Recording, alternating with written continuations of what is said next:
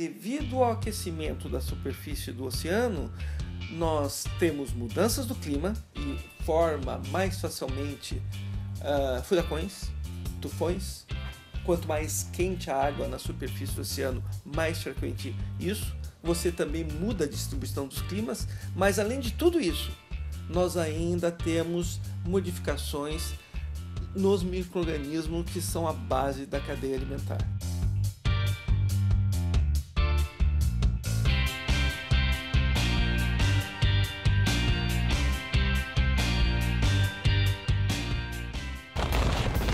Este marco atrás de mim identifica o Polo Sul geográfico, no centro do continente mais frio, mais seco e mais ventoso do planeta Terra, a Antártida.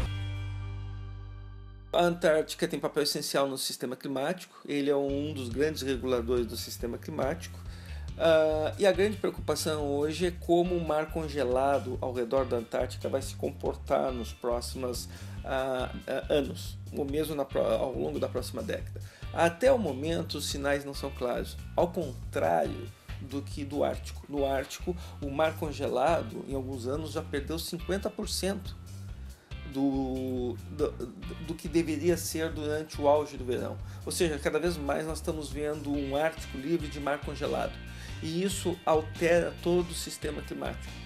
Torna, por exemplo, mais variável. Inclusive, nós começamos a observar como está na